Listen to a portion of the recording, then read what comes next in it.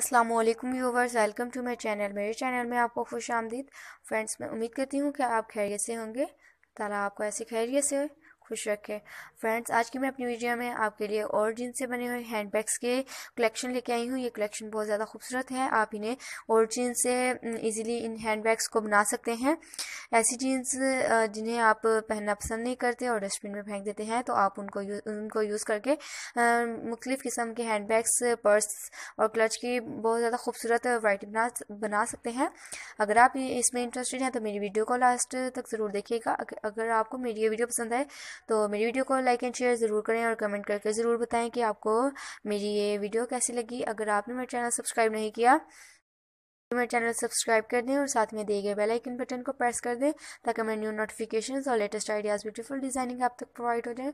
Friends जैसे कि ये देख सकते हैं, ये ब्लैक चीन से बनी हुई हैंड बैग थी और इसमें आप इनमें बटन्स का यूज़ करके मुख्तलिफ़ बीड्स का यूज़ करके इनको खूबसूरत बना सकते हैं। इसके अलावा आप फैब्रिक पेंट से भी इनको बहुत खूबसूरत बना सकते हैं। इन पर्स को बनाने के लिए किसी भी किस, किसी भी रंग की जीन्स ले सकती हैं। मैं जिस वीडियो में आपको कलर कम्बिनेशन भी दिखाऊँगी कि किन कलर्स के हैंड बैग ज़्यादा खूबसूरत लगते हैं जिसके ये आपको दिखाए जा रहे हैं। ब्लू कलर के इसके साथ येलो कलर का कम्बिनेशन ज़्यादा खूबसूरत लगता है और इसके साथ रेड का भी बहुत खूबसूरत लगता है। आप इस तरह से बना सकते हैं। आप मुख्तलिफ़ दूसरे फैब्रिक से फ्लावर्स बनाकर इन बैग्स पर इजीली लगा सकते हैं और इनको ज़्यादा खूबसूरत बना सकते हैं। आप बेल्ट का यूज़ भी कर सकते हैं, जैसे कि इसमें किया गया है, बेल्ट का यूज़ किया गया है। इसके अलावा आप इनमें इलास्टिक का यूज़ भी कर सकते हैं। इनमें ये देखें इसमें फैब्रिक पेंट यूज़ किया गया है। आप इस तरह से फैब्रिक पेंट कर सकते हैं। इनको मज़ीद खूबसूरत बना सकते हैं।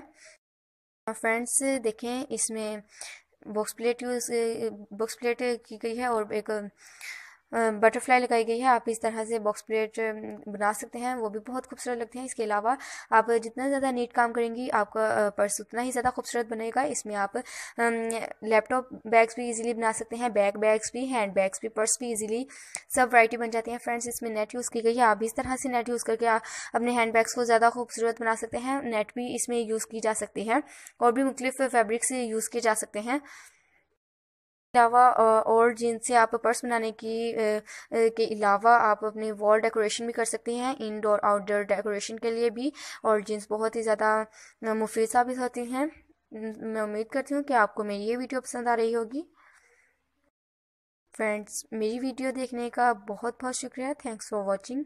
मैं वीडियो, मिलते हैं मेरी नेक्स्ट वीडियो में। तब तक के लिए अल्लाह हाफिज़ एंड टेक केयर।